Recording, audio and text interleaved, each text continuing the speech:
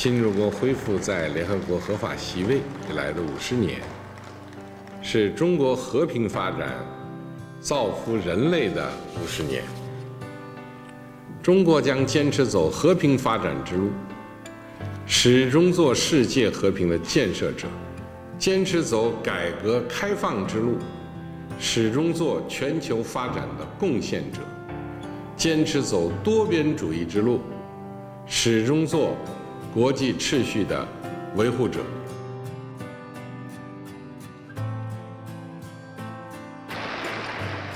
Equatorial Guinea? Yes. Ethiopia?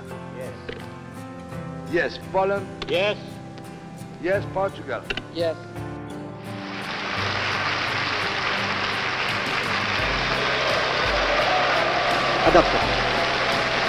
新中国恢复在联合国合法是世界上的一个大事件，也是联合国的一个大事件。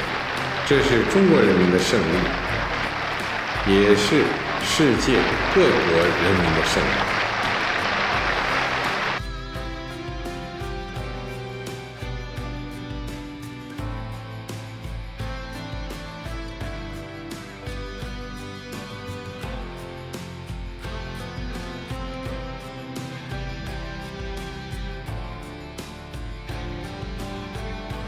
China? “